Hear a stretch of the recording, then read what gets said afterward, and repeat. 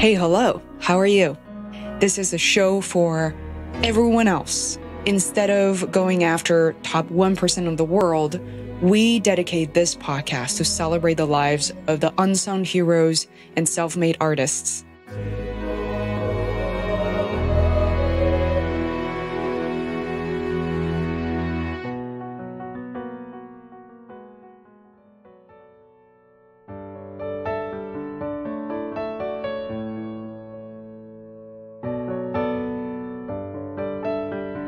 Hi, guys. You're listening to the Feisworld podcast. I am your host, Fei Wu. We're approaching a new milestone of 150 episodes. I, again, cannot believe that I'm saying that, and we're now three and a half years into podcasting. Well, our English version of the podcast continues to thrive, and that enables us to reach a wider audience with this universal language. Meanwhile, Phase Feisworld is now producing a new series of Chinese episodes for our audience in China, and they will be released on Ximalaya.fm this year in 2018. Ximalaya.fm is a platform with over 500 million users. That actually doubles the number of users on iTunes. To learn more, go to feisworld.com forward slash newsletter. While I was in China in March doing some research and recording new episodes for the new show, focusing on unsung heroes, particularly in the areas of entrepreneurship and philanthropy, I had the great opportunity to meet Professor Zhong Shangzhi, who is a recognized expert and pioneer in medicine. In China, last name comes first, so it's Professor Zhong previously the president of the Chinese University Hong Kong School of Medicine, and he was the youngest president in that school's history. Professor Zhong graduated from the Royal College of Surgeons in Ireland and worked at Prince of Wales Hospital in Hong Kong. At the age of 50, he refers to that as his midlife crisis. He went to Papua New Guinea, the land of the unexpected and worked there as a doctor under often extreme circumstances with limited medical and human resources. What I also found out is that Professor Zhong was a key contributor and also known to be one of the heroes during SARS in southern China between 2002 and 2003. This is a very short interview. Professor Zhong had a very busy schedule that day, but I couldn't possibly give up this interview. To learn more about Professor Zhong, I hope that you read Chinese and then you will check out his book, The Kindest Cut. Without further ado, please enjoy this short and heartfelt episode with Professor Zhong Shangzhi. I'll see you at the end of the show.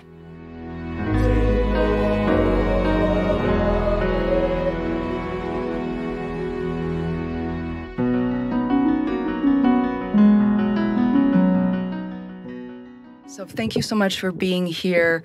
I love interviewing doctors and talking about medicine on the show, even though I'm I don't have any experience at all. I didn't go to medical school. Uh, I have tremendous amount of respect for people in your field. Actually, I would love to have you do a brief introduction of who you are and, and what you do to my audience. Uh, my name is Sydney. Um, I'm from Hong Kong, uh, but I went to medical school in Dublin, Ireland. Uh, after I finished my training, went back to Hong Kong and trained as a surgeon there.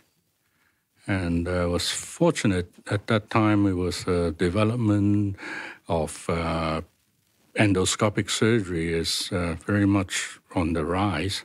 So I was very fortunate to be there at the right time. I worked in a medical school in Hong Kong, worked my way up, and then until I was 50, and then uh, I suppose you can call that a midlife crisis. And then I uh, went to Papua New Guinea and took up the post of professor there mm-hmm. and worked there for a few years, uh, three years to be exact. And that was uh, most rewarding three years of my life. Wow. Why, why do you think it was the most rewarding years of your life? Um, was uh, very challenging to be working as a doctor in the third world where the resources are very limited. So we have no option but to go back to first principles and solve clinical problems and make the diagnosis by listening to the patient, by actually laying our hands on the patient to make the diagnosis, and then to try to solve the problem with the very limited resources. Mm-hmm.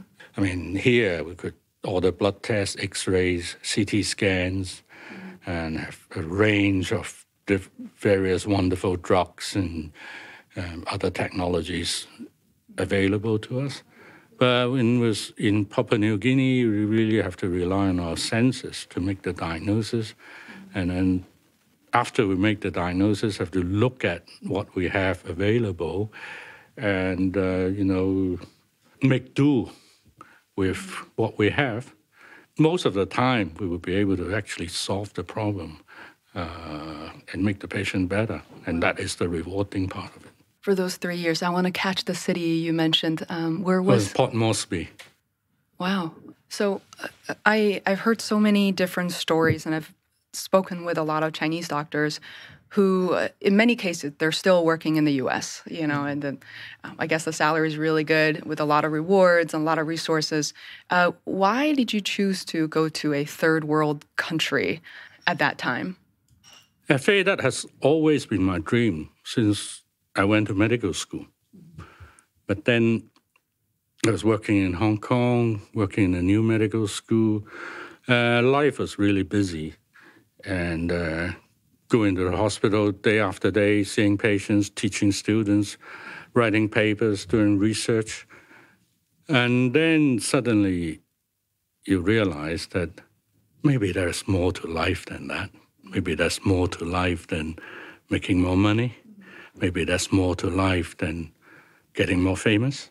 Mm-hmm. Why not fulfill my childhood dream while I'm still physically and mentally capable of doing it? So I took a deep breath and leapt. What, what was your childhood dream? Um, what were you thinking when you were? I read stories about uh, the Canadian doctor Norman Bethune that worked in China uh, with the uh, Red Army, and that was I read a story about him operating on the uh, soldiers of the Red Army in a decrepit temple and managed to save the life of the soldiers. And I thought, well, that was maybe something worth doing. How old were you approximately when you read the story? 15. Oh, wow. So, one thing I read that jumped out at me was your contribution to SARS. Yeah, well, what, it was so scary. I still remember a lot of. I was in um, the U.S. at the time, but it was impacting my parents and everybody I, I knew in China. Yeah, I think uh, thinking back, if you have a disease that uh, you don't know what it is, and you don't know uh, how it is spread, but all you can see is your colleagues uh, falling one by one. Yeah, you're right, Fei. It's pretty scary. Mm-hmm. Wow. So, what did you uh, manage to do? I mean, it was such a scary time for doctors because you are the frontier. But I can imagine some doctors would probably turn away from it because there's no solution, there's no guarantee. Well, uh, uh-huh. I'm actually very proud to say that that didn't happen in Hong Kong because uh, uh, everyone uh, from the doctors to the porters in the hospital uh, stuck to their guns. In fact, the security guy who was um, posted right outside the SARS ward came up to me and says, Professor Chung, don't you worry, I'll stay here. I said, hmm, that's something. wow. Even the security guard. Even the security guard. Wow. There are so many stories too. I didn't I didn't read any of this on, online. I'm just really thrilled to to be part of this conversation. One thing I read is that you also um, authored a book called in Chinese called uh, Dao Xia Liu Ren. Yes, it was translated to English as well. It's called The Kindest Cut. Wow. I very much love that because I've had several family members who have gone through surgeries, and I lost my dad to cancer about 10, nearly 10 years ago. And he also went through surgery, but not, not a very successful one.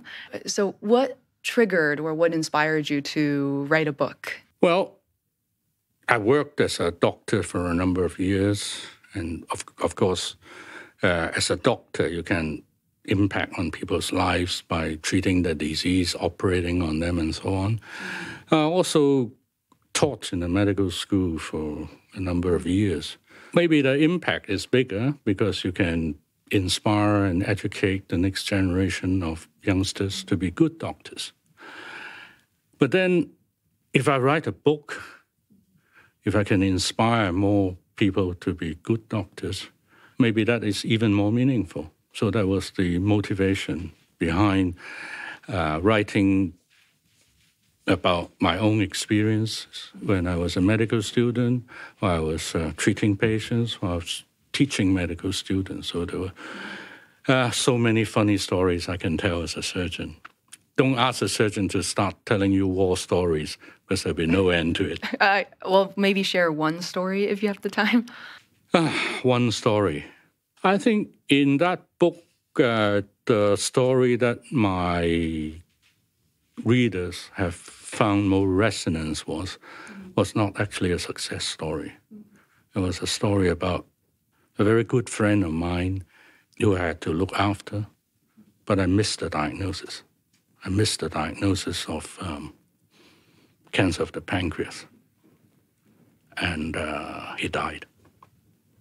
Mm-hmm to be able to talk about that uh, must be really difficult. Uh, no, to be able to face his family was the most difficult because his wife was too understanding, but his, his mother never forgave me. Mm-hmm, mm-hmm. I think it's the toughest part to be a doctor is the amount of not just pressure, but the amount of expectation that's let on you uh, from so many different aspects. It's not just the treatment itself, but also the way you talk to people, the way the way that you make them feel, and also for you to have to do all of that. If I can just be honest, I think it's too much because that's one area that I've inserted a lot of my energy into is palliative care. Mm-hmm. Um, that's something I've literally devoted the past year or so interviewing doctors from that discipline.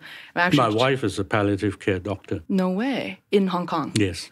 I, I think that's the most promising, the most needed field. And I, the doctors I know in Boston work closely with oncologists. So together, I interviewed both of them together. And I just think it's too much for oncologists to have to do everything, cancer doctors in general. Yeah, I, I think you could say that because you cannot be a good doctor without caring. And yet, if you care too much, then your judgment may also be colored. Mm-hmm. So um, it's a fine path. Mm-hmm.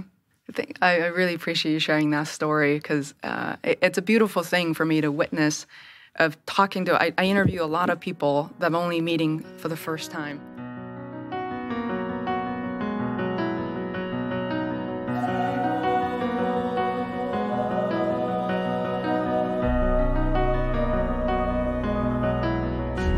Hey, it's Fei. I am back for a few words at the end of the show. I hope you enjoy what you heard. You can visit us online at feisworld.com or social channels such as Facebook, Twitter, and Instagram, also under Feisworld to keep things simple. I personally review and respond to all the messages.